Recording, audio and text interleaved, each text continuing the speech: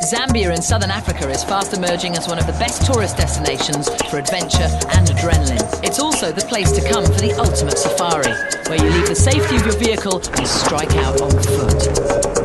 What's more, it's home to one of the seven natural wonders of the world, the Victoria Falls. But locals call it by a different name. Mosi-oa-Tunya, the smoke that thunders. This way.